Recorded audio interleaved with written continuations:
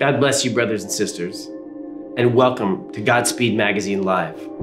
In this month's Parents issue, we've been exploring how God is protecting the role of godly parenting in America. Imagine legal actions being taken that tell you, the parents, that the school officials and state education board are now going to begin making choices for your children. These choices are going to include indoctrinating your children into a culture of aggressive sex education, homosexuality, and abortion. How would you respond? How are you responding? The shocking truth is it's already happening in multiple states, including Delaware and California.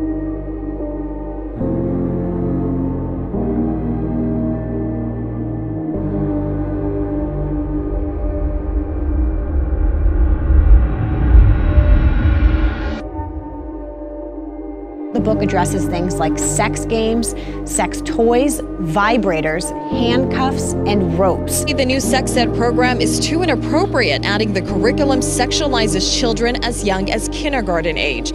Last week, state education officials overhauled its sexual education guidance for public school teachers with gender identity and safe sex practices, amongst other subjects being covered. Now, they say uh, the main one that they are having a hard time with is the LGBTQ inclusive language language and safe trafficking context, which will be covered. Some parents saying it's all too explicit for kids this young and too graphic, especially some of the books. Now, one of the books that they seem to be having a problem with is this one titled Sex All You Need to Know. Puberty and all that stuff. Again, parents talking about the graphic nature, the graphic images, and descriptive language they're upset about, and they don't want their kids to learn about this in school. She calls herself a sex educator, uh, and I don't know if I would use that similar title, but we'll go with it for the sake of the argument. She says it's important to understand how male pleasure. In Delaware, LGBTQ organizations who believe parental rights should be given to school officials are being pushed back by outraged parents. In California, God is defending warriors in the faith to defend our K 12 children from institutional perversion at a level you can't imagine.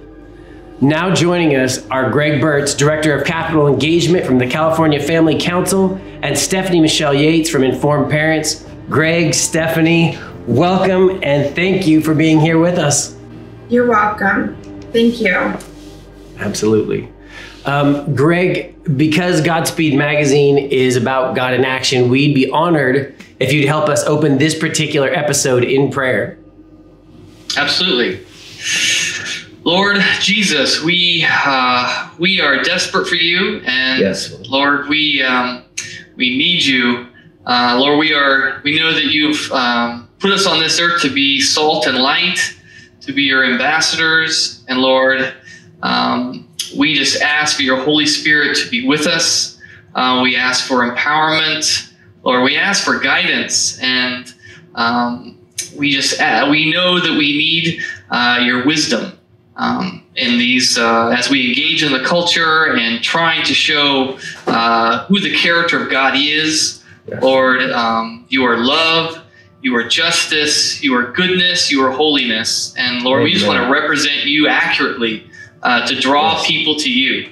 And so we just uh, ask that you guide our conversations today, that they would glorify you, um, and that other people would be encouraged and uh, inspired. In your in your precious name, Amen. Amen.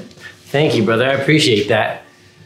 Guys, this is a time to be vigilant and alert in Christ. And when we return from this quick commercial break, you'll learn how quickly the forces of darkness are advancing against our children and how Jesus is calling his people, and that's you, forward.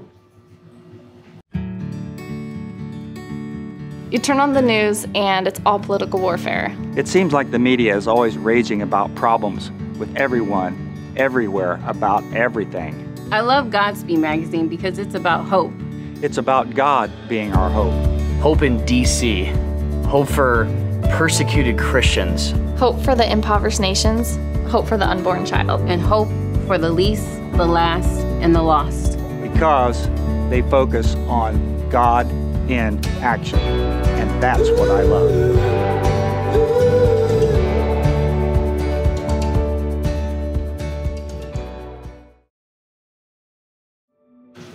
Blessings and welcome back. Before we jump into our interview, uh, I think it would really help, Greg, if you could kind of, you or both of you guys, Stephanie, if you guys could help our audience understand the context of the nightmare attack we're sort of experiencing here in California. Because from what we've heard across the country, a lot of people don't really have a clue what's happening.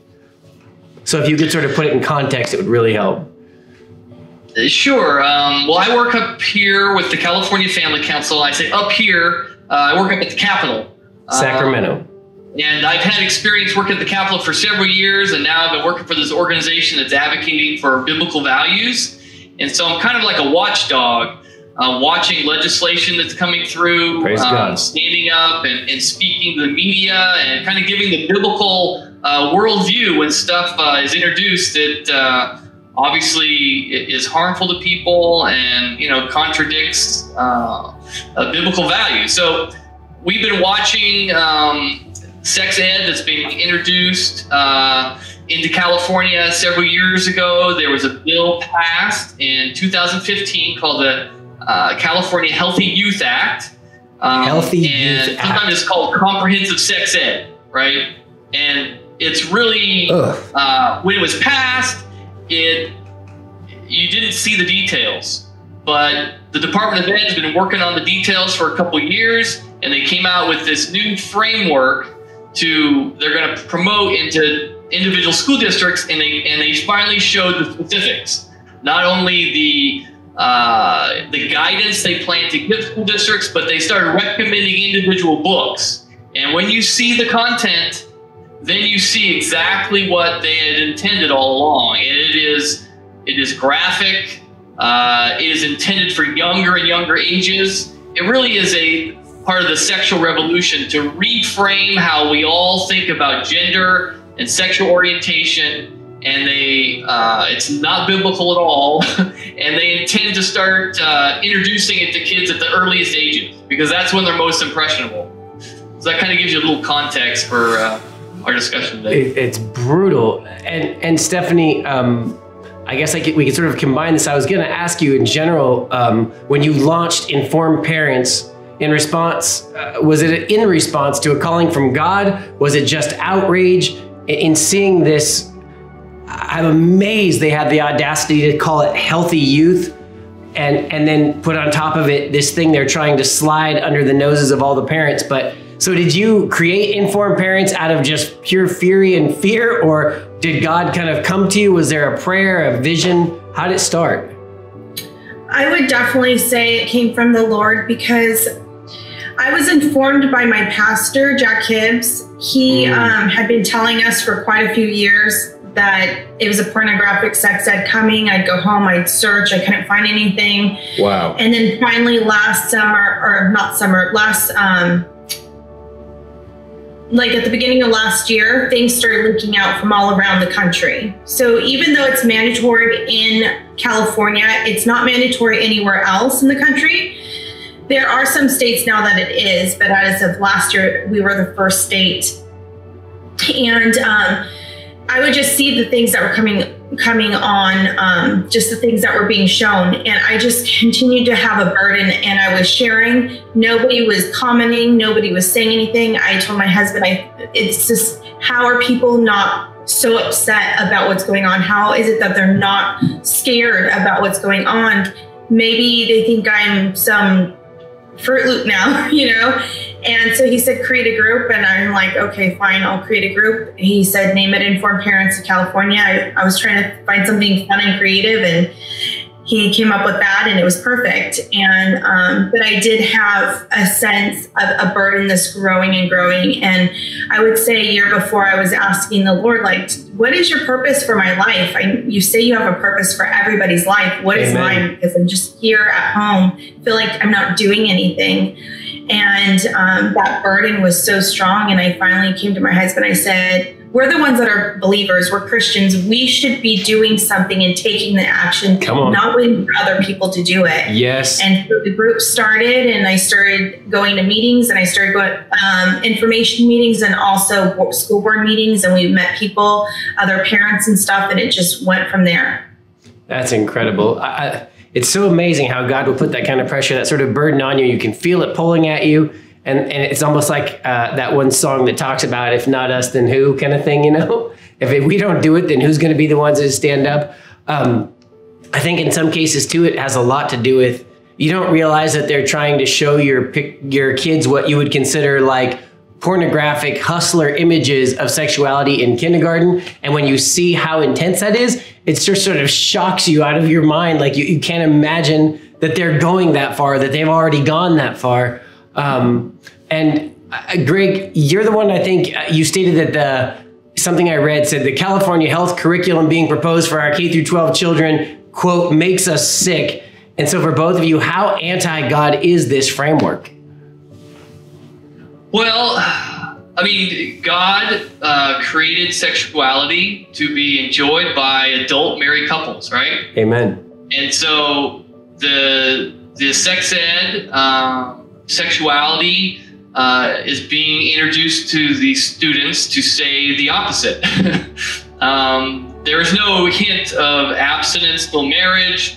There, the, you get into the, the content, it's really introducing young children to sex itself, um, teaching them how different uh, behaviors. Uh, they, they talk about it being comprehensive and, and accurate. Well, I suppose it is, uh, at least some of it. But who would ever think of introducing, you know, young children to the details of sex? And I mean the details. Um, I mean, we started, people, one of the issues we had with just dealing with the press is that we couldn't get them to actually show the content. Uh, we, we, we would describe it as pornographic or graphic, and then the other side, you know, would trot out their experts that would say was, well, this has been reviewed by our experts, and you know, this is, uh, you know, this is what kids need to know to avoid risky behavior. Uh, but it was only when we finally got them to look at the books and read them, and we flipped up and showed the pictures, and and I, I spent several hours talking to reporters and just reading through the curriculum with them, and you could tell by their reactions uh, that was not what they were expecting. Oh man, I'm telling you what, I, I was so horrified.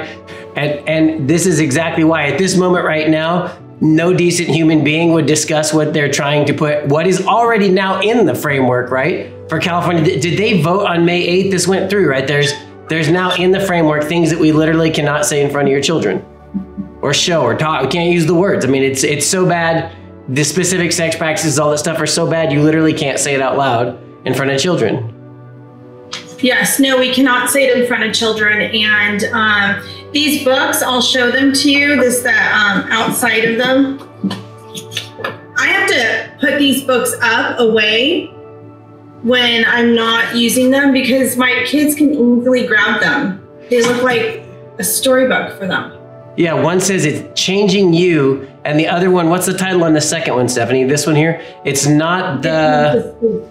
The stork. It's not the stork that does it. So destroying innocent models of old parenting. Greg, let's bring you in on this. What how how would you anything to add on how our viewers can get involved, how believers can get involved? Well, I think one of the main things they do is they need to get informed. And so uh, our website, californiafamily.org, we are writing stories about the curriculum, about what's in it. Um, we are notifying folks about legislation that's uh, being introduced.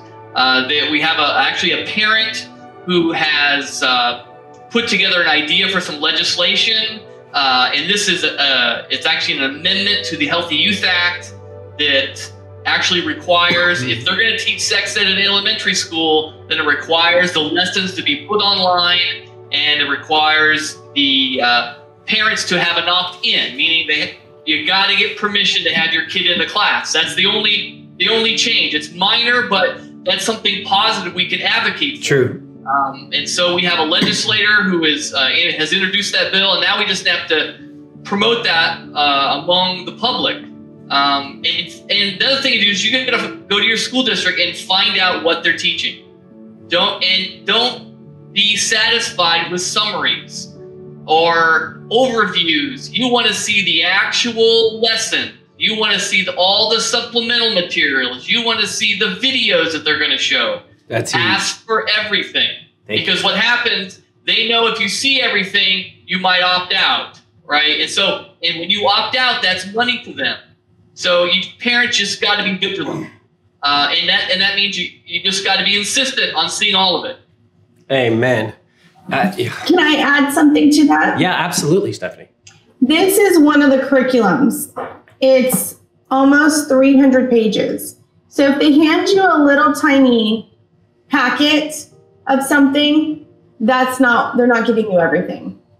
Well done. I, those are the kind of things I think are so important as a contextual ability to function in an intelligent way. Like you just gave everybody a great way to know how to do it. And both Greg, Stephanie, I appreciate you guys so much. And I appreciate your kindness uh, and dignity towards all this without becoming passive and silent. You know, we have Jesus the warrior with a whip in the temple, we have Jesus the Lamb of God, and I feel like people decide that God is either Alpha or Omega and forget that God is in fact Alpha and Omega. He doesn't stand down, and he's also got that kind of composure that is godly. And so, thank you for being a reflection of that. I want to bless you both. Thank you both for coming on the show and just keep it up. Keep up the work. Thank you for having us. Yes, thank you for having us. And our one of our sayings is that we will stop at nothing to protect our kids. So Amen. I, I can't see, I mean, as you can see, I'm juggling everything and I work from home too. And Oh, it's a lot. And I appreciate that you're okay with my kids coming in. It's the first time they've done this in an interview, but we can do this. Amen. because God's giving us the provision to be able to do what we need to do because our ch- it's we're in high red alert right now of what's going on with our kids. And if I can stress that to everybody don't think you can teach them better at home because you don't know what is happening in those classrooms what's being said 5 days a week for 7 hours a day. You don't know how to undo it. And the other thing is that we spend when it's time to come home it's morning times it's get up get ready for school drop off, pick up, let's get homework, let's get sports, let's get bath, bed, and then how much time do we really have to know what's going on at that school and to undo what they're learning? We don't. Amen. Amen. And kids do not, you. can't undo what kids learn in their own culture. If they learn it with a bunch of their friends around, you're dead. I mean, as a parent, the, the influence you can have, we've seen this, that that's why the best thing is get your kids around more godly kids in life groups and church camps and anything. The more influence they can have poured in from God in groups, the more they see that, in fact, the culture of God is the true culture, is the truth. So thank you, thank you. Guys, if you consider yourself a warrior in Christ, when we return, we're going to be talking about action, how you individually can get involved with God in action, and we've got some additional stuff for you. So stay tuned. You turn on the news and it's all political warfare. It seems like the media is always raging about problems with everyone, everywhere, about everything. I love Godspeed magazine because it's about hope. It's about God being our hope. Hope in DC. Hope for persecuted Christians. Hope for the impoverished nations.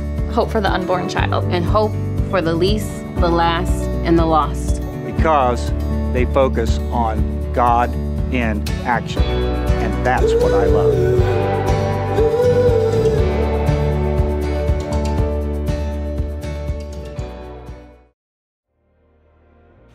Ecclesia, church, believers, welcome back to Godspeed Magazine Live.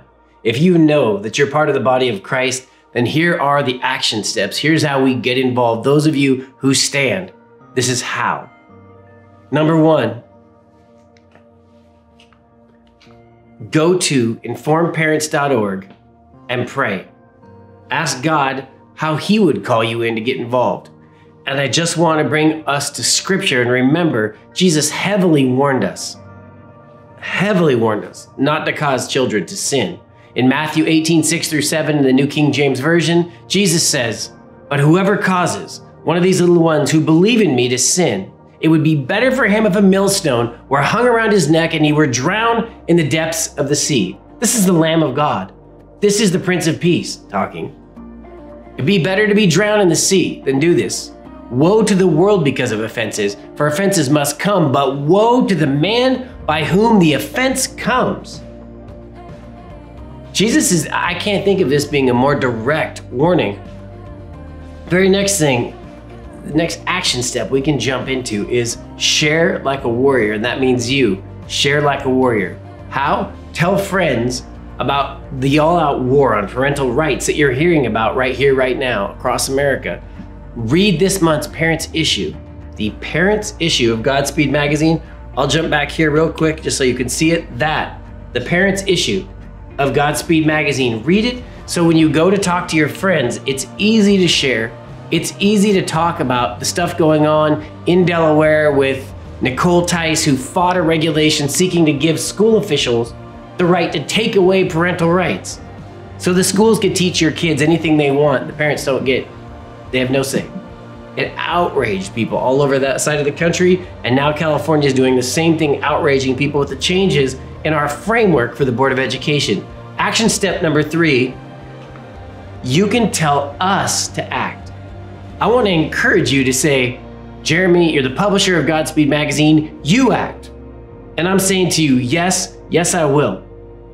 I need to know that you care.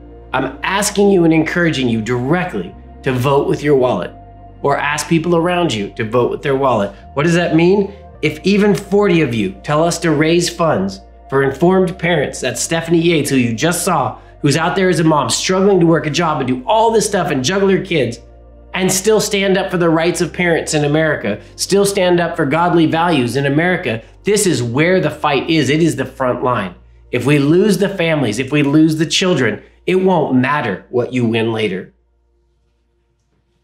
So, specifically in this case, if you want us to act on behalf of informed parents to help Stephanie do this work so she can hire a babysitter and not work at a job and focus, if we can boost her up and help her and fund her, all you need to do is email us info at godspeedmag.com. Info at godspeedmag.com. Then tell us, I'm ready to subscribe to help inform parents.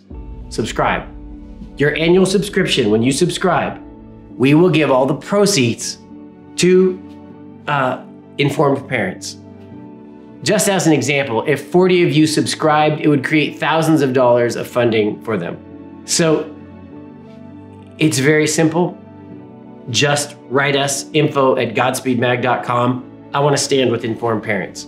I'm ready to subscribe, and the proceeds will go directly to them. I want to thank all of you who've made such great comments and have been reading the parents issue. I love that you love the content. I love to hear what else you love. By the way, I want to make sure that all of you try the next gen Bible technology that's in there. Look in Next Gen Bible, the article in here, and look for the way the Ark of the Covenant will come into real life onto your phone and float around and you can touch it. Just go to Next Gen Bible. You can read the magazine online, you can read it in the app on your phone, however you'd like to read it. But most of all, I want to thank each and every one of you who are with us in Godspeed Magazine. Our goal is that you would read, pray, act, and become the story. So God bless you. And if you bring the full gospel of Jesus Christ, Godspeed.